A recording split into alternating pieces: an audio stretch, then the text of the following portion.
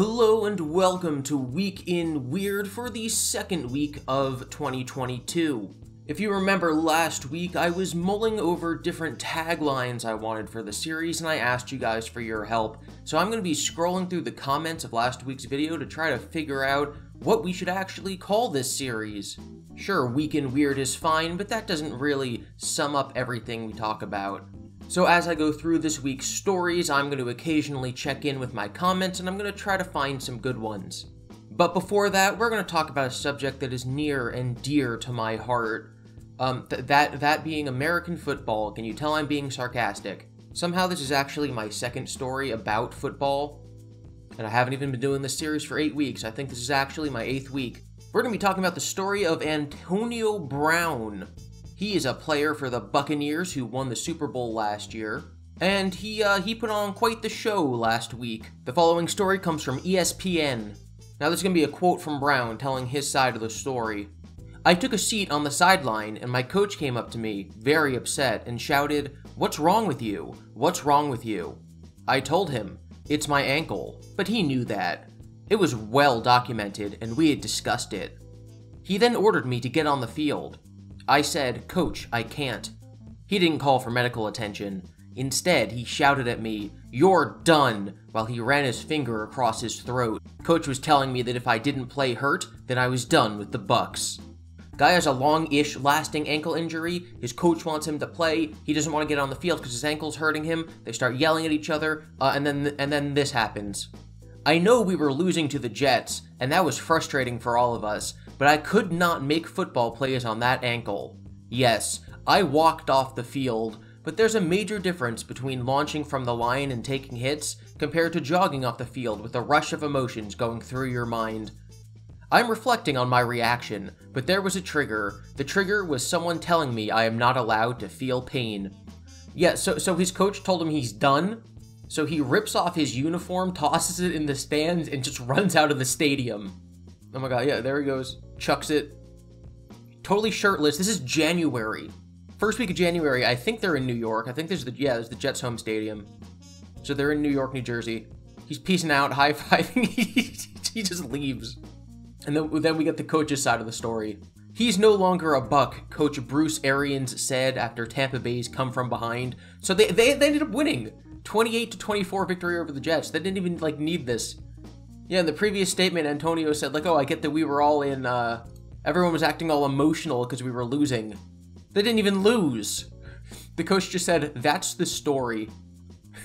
we get the mad lad running off, peace sign, shirtless in January, on his hurt ankle. So if you remember from my video from last week, you know that I asked my audience for a new tagline for my show. Originally, I thought it should be something to the effect of, news that doesn't matter.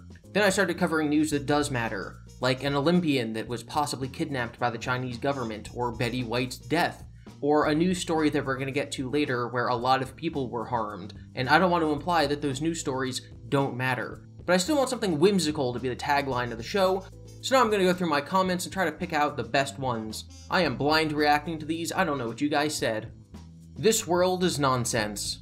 Week in Weird, it's technically news.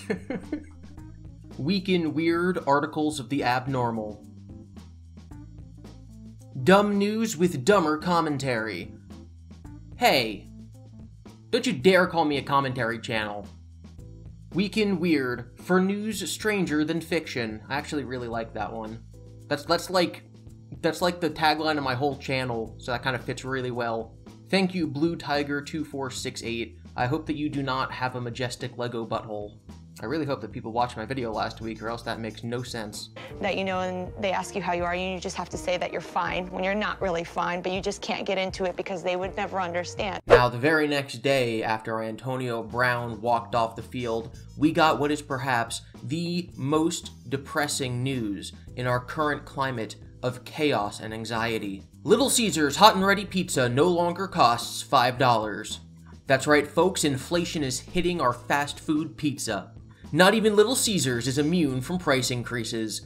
The chain's signature $5 hot and ready pizza now costs 11% more. Little Caesars is selling a new and improved version of the recognizable pizza, which has 33% more pepperoni and a new price of $5.55. Why not just go all the way, make it 666, you know what's going on here. You know this is a sign of the end times. This is its first price increase in nearly 25 years. The pizza first went on sale in 2001 and differentiated itself from competitors because it was made ready for takeout without the need to pre-order it. It's also disgusting. The article also talks about how the average cost of eating in a restaurant has spiked 5.8% in the last year, because again of inflation and COVID stuff. Uh, but yeah, the news that needs Dr. Phil. Please, Dr. Phil needs us. He wouldn't be relevant if it wasn't for a bunch of people making GiBi exposed videos. News you can laugh at and secretly cry about later. Facts like fiction, because it's news too weird to be fake. Again, I like that one. Chris Chan's in jail, so let's let other things be weird. Not so normal news. I think if you want to make it totally alliterative, you take out the so and it'd just be not normal news. Okay, so there's some context to this next story that you need to understand to know why this is such a headline-making news event.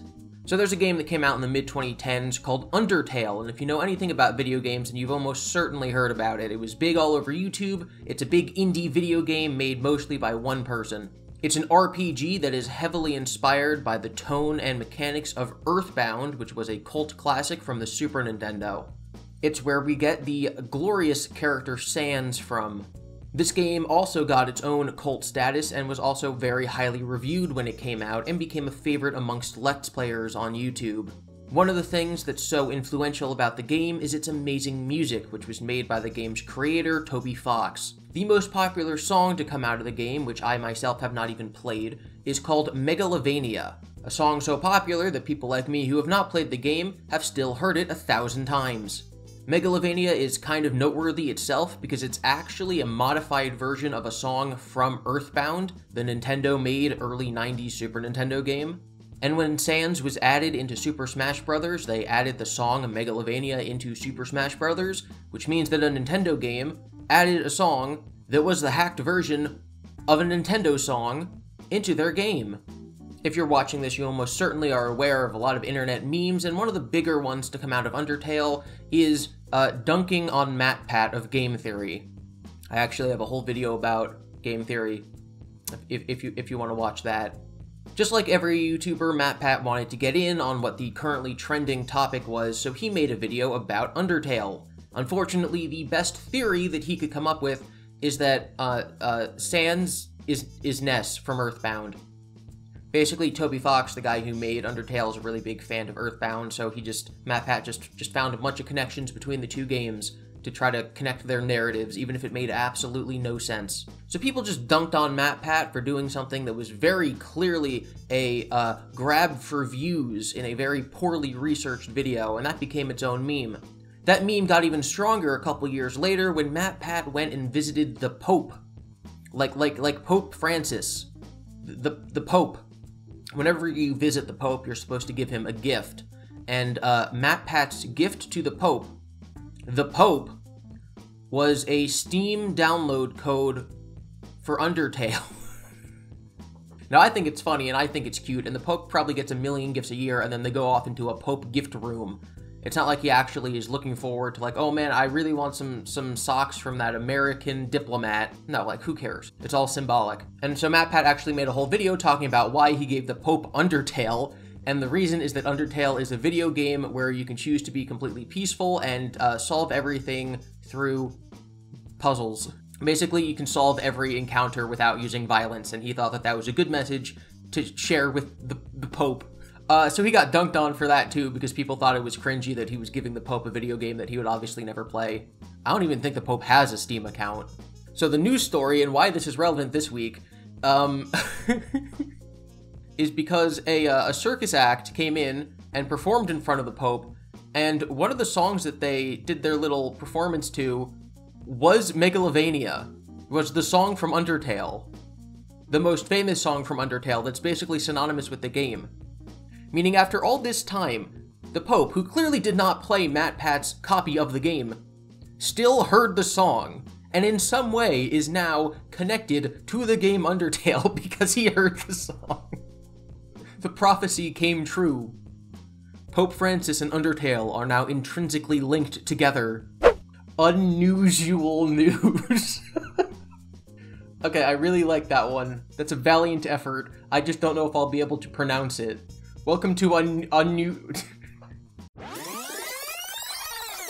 Hello and welcome to unusual... unusual... I can't... Hello and welcome to this week's episode of Unusual News. People are just gonna think that I have a speech impediment.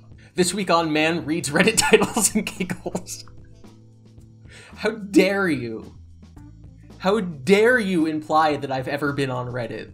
And now we're going to talk about our final story for this week, and if anything is emblematic of the fact that I don't want the tagline of the show to be stories that don't matter, it's this. You probably heard that I-95 south of DC was shut down for about 24 hours this week. Snowfall of 12 inches caused a traffic accident, which then caused traffic which went back about 100 miles. People were stuck there for hours upon hours, and there's just countless stories of what people did to survive in their cars overnight in below freezing temperatures. Some people talk about how they were only going for drives that should have lasted about two hours and ended up being there for 20 hours. Some people were running out of gas, some were running out of food. There's a bunch of stories about humanitarian efforts to get food out to these stranded people people who were alone with their cars, people who were there with their young children, elderly people. It was a horrific event that was caused by a combination of bad government planning and uh, Mother Nature. One of the people trapped in the traffic was Tim Kaine. Uh, you might remember that he was Hillary Clinton's vice presidential pick in the 2016 election. He said he was stuck in his car for about 21 hours. It was really, really cold last night, Kaine said. The article goes on to talk about how running out of food and gas was a big issue for a lot of people, but that Kaine was fine because he had a full tank of gas and a nice coat. Another story comes from Sophia Colson. She spent 19 hours stuck in her vehicle. She said she heard motorists scream in the dark in frustration Monday night. Some abandoned their vehicles and tried to walk along the highway, including people she saw fall in the snow and ice. This is literally a nightmare scenario. If you've ever seen the Gridlock episode of Doctor Who, you know exactly why this is one of my biggest nightmares. We're trying to stay positive, Colson said Tuesday, after being stuck with her 63 year old aunt who has one lung and needs supplemental oxygen, a diabetic brother, and her 13 year old son. But it feels like we've been abandoned. Virginia Department of Transportation just left us stranded last night and didn't try to do anything to get us out of this situation. They didn't put in the effort. They missed a family funeral in New York and subsisted on Diet Dr. Pepper, cheese crackers, and ginger snap cookies while their gas tank neared empty. There's another story of a 93 year old man who was traveling south for the winter to escape the snows of New York, who got trapped in his car for 17 hours.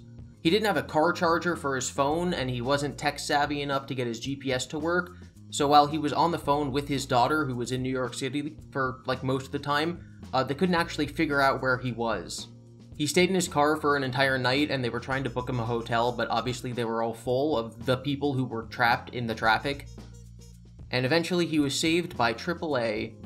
And then the most clickbaity uh, headline of all of these stories is that a man was charged $600 from Uber because he had to sit in this traffic for so long. He was taking an Uber from the airport. We didn't have any food or water, he said. After a nine hour trek, Peters got home Tuesday and paid a $200 bill, but then Peters said Uber added $400, raising his total bill to 600. That's just insanity. Apparently, uh, Uber refunded the entire trip, but that's just like dystopian nightmare. So everything about our world sucks, things are falling apart, and the only thing you can do is laugh. That's my motto. Can't you see the humor on my face? No, but seriously, in situations like this, all we can do is be glad that not that many people were hurt and that the situation resolved itself and that hopefully uh, things won't be this bad in the future and that the government will get its act together.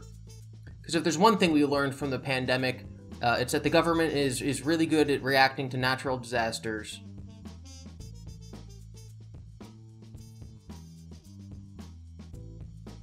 Thank you for watching. You can follow me on Twitter at GIBI underscore Devon. I'll be around next week for next week's news in whatever this is called. week in Weird. I read like 30 comments about new taglines for the show and I totally forgot what it was actually called. I'm gonna have my uh, December update for Chris Chan coming this week, and I also have a special video telling you about a new special topic too. That should also come out before my next week in Weird. Bro, no offense, but the shave you got on is not it. Dude, I've had this exact same beard for five years. You got you gotta have a sideburns and then a little chin strap to a goatee, because when you're fat, it gives you the illusion of having a jawline. This is the ideal beard for fat guys, okay?